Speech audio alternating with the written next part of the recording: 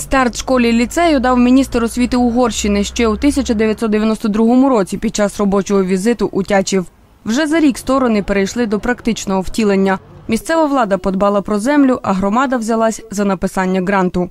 За домовленістю угорська сторона звела будівлю, а українська взяла на себе зобов'язання фінансувати заклад далі.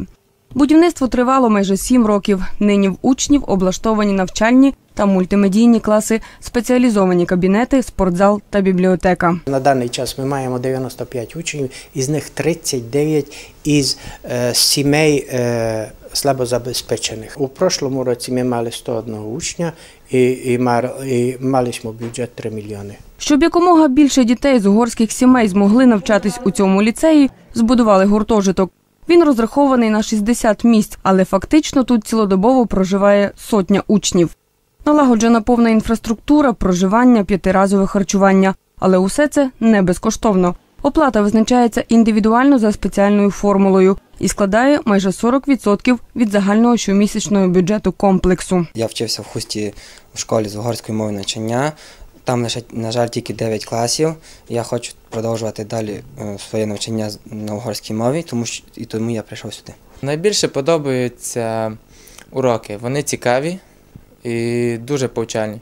І школа, і ліцей в основному на утриманні держави. Утім, коштів на проведення поточних ремонтів, підтримку матеріально-технічної бази, новий інвентар та інші витрати щороку не вистачає. Лише минулий 2013 став винятком. За бюджетні гроші повністю оновили гуртожиток, закупили проектори для класів. В цілому ж каже Павло Амбруш, 95% облаштування ліцею зробили за грантові кошти. У більшості пишемо е, у Вишеградську четвірку є Державний фонд Угорщини, і ми туди е, пишемо. Наприклад, теплопостачання е, вийшло із ладу, теж по гранту ми е, то оновили. Окрім державного угорського фонду, ліцей активно співпрацює із реформатською церквою. Зі слів директора, навчальний заклад фактично живе під їх опікою.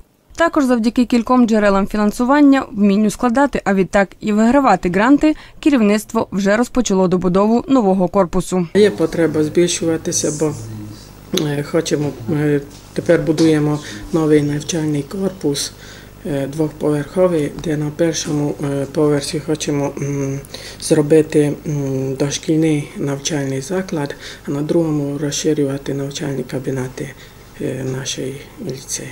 Незалежно від багажу знань, з яким приходять учні, тут вони поглиблено вивчають окремі предмети. Як свідчить практика, 90% випускників продовжують навчання у вишах. Дев'ять колишніх учнів ліцею опісля здобуття вищої освіти повернулись у заклад, де зараз викладають.